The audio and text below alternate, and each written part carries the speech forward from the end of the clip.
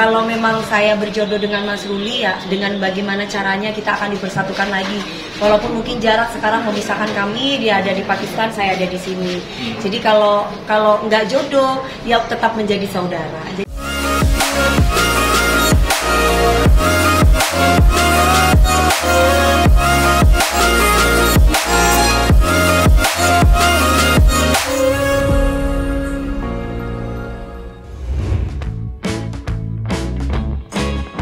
Halo Selebtubers, balik lagi nih bareng gue di channel kesayangan kita yang kekinian, terupdate dan terpercaya.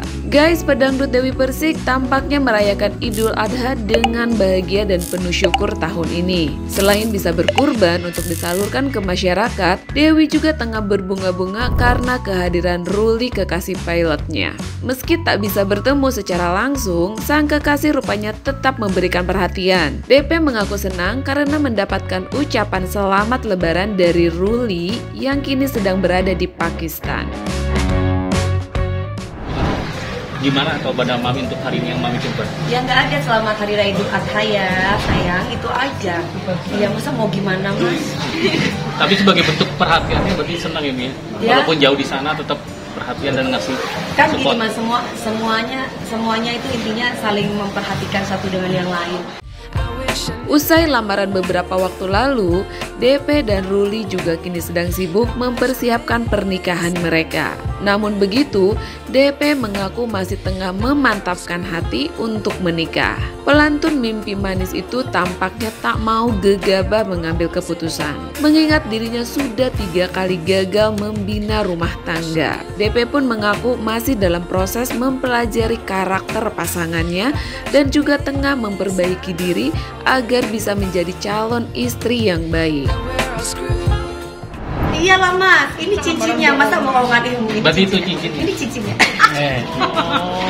ini cincinnya mas. ketika ket- kaget nggak ketika ketika dilamar eh, oleh Mas Ruli dan apa ketika itu yang diucapkan oleh Mas Ruli ketika melamar Eh, Mas Ruli ini nah, ya ketika dilamar ya kamu mau nggak jadi istri aku gitu. Ya aku sebagai perempuan ya alhamdulillah berarti dapat penghargaan dari Mas Ruli maupun keluarganya sudah sudah melamar aku menjadi perempuan yang terhormat. Jadi kalau misalkan mengenai kapan menikahnya, Iya. ya aku sih hanya bisa berdoa sama Allah.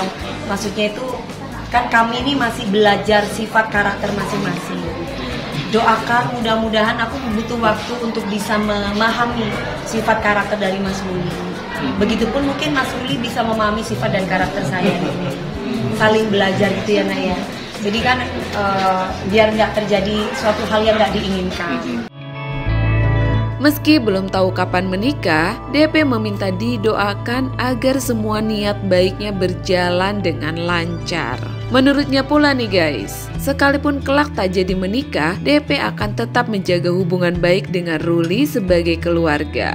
DP juga memuji sang kekasih karena sudah melakukan yang terbaik sebagai calon suami. Jodoh semua ada ada Allah yang maha mengatur. Kalau memang saya berjodoh dengan Mas Ruli ya dengan bagaimana caranya kita akan dipersatukan lagi. Walaupun mungkin jarak sekarang memisahkan kami, dia ada di Pakistan, saya ada di sini. Jadi kalau kalau nggak jodoh, ya tetap menjadi saudara. Jadi intinya apa pun itu yang terbaik dari Allah. Mas Ruli sudah melakukan yang terbaik kok. Sebagai laki-laki dia sudah memberikan yang terbaik buat aku. Justru sekarang ini aku lagi memantapkan diriku sendiri, Mbak. Eh, memperbaiki diriku sendiri. Apakah apakah aku harus berumah tangga, apakah tidak gitu. Jadi kemantapan hati itu justru dari diri aku sendiri. Kalau dari Mas Uli udah dia bertanggung jawab, dia luar biasa baik sama keluarga aku dan bagaimana caranya aku sekarang. Jadi aku tidak mau muluk-muluk minta orang lain itu harus bagaimana dengan aku, Mas. Aku sekarang lagi memperbaiki diri aku sendiri untuk mempelajari sifat dan karakter masuk ke dalam kehidupan aku.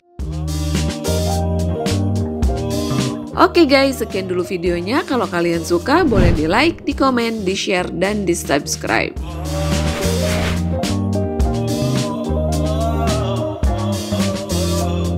Yeah.